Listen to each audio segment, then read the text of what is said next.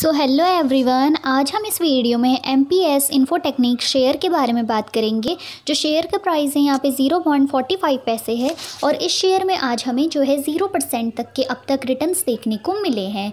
आगे हम इस शेयर के वन मंथ के रिटर्न्स की बात करते हैं तो वन मंथ में हम देख सकते हैं, इसमें भी हमें यहाँ पर नेगेटिव रिटर्न्स देखने को मिले हैं।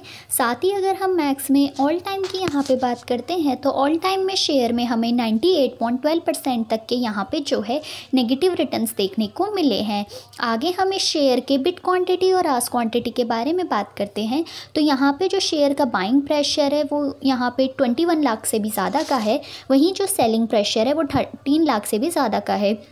तो यहाँ पे हो सकता है जैसे ही जो शेयर है उसको लो प्राइस में यहाँ पे बाई किया जा रहा है और हाई प्राइस में तुरंत ही सेल कर दिया जा रहा है। आगे हम इस शेयर के रेजिस्टेंस और सपोर्ट लेवल के बारे में बात करते हैं।